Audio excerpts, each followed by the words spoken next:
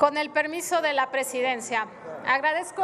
a mis compañeras y compañeros diputados del grupo parlamentario, ya que hoy presentamos, trabajamos en una iniciativa muy importante y sobre todo muy noble para poder alcanzar justicia eh, quienes constantemente son rezagados y por ello, a nombre de mi grupo parlamentario, vengo a presentarla eh, esta iniciativa que está enfocada principalmente, como lo dije, en hacer justicia a quienes lidian no solo con los problemas comunes del día a día, sino también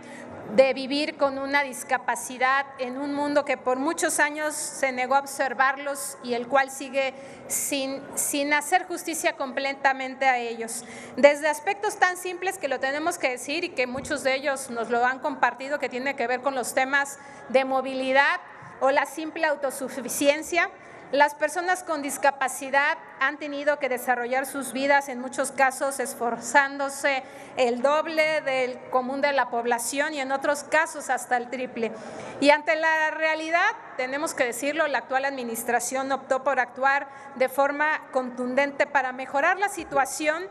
y se puede decir que hemos logrado mejorar sus condiciones generales que eh, verdaderamente con el fin de alcanzar un verdadero piso parejo. Sin embargo, eh, decirlo, nadie puede ser ajeno al camino que aún tenemos pendiente y solo falta hacer una breve revisión para darnos cuenta de la disparidad que aún existe. Y, si me lo permiten, de manera eh, puntual. Una de las más pronunciadas es la que se da en el ámbito laboral, donde la tasa de participación económica de las personas mayores de 15 años con discapacidad o con algún problema o condición representó el 38% durante el año 2020, 2020. Una cifra que apenas fue un poco más de la mitad de la tasa de participación observada de las personas sin discapacidad, que fue por arriba del 67%. Además, de manera conjunta se sufre, y esto es muy importante, de una brecha de ingresos considerablemente entre las personas con discapacidad y las personas sin discapacidad. Esto es, no debería de ser y no deberían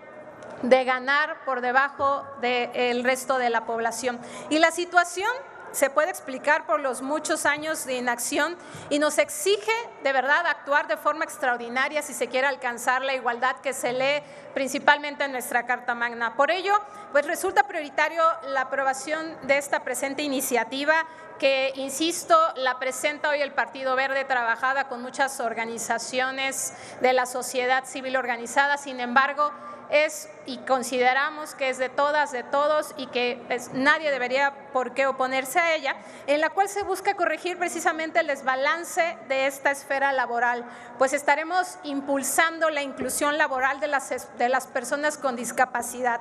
Y una... Eh, una inclusión a partir de establecer que esto es importante, los patrones que contraten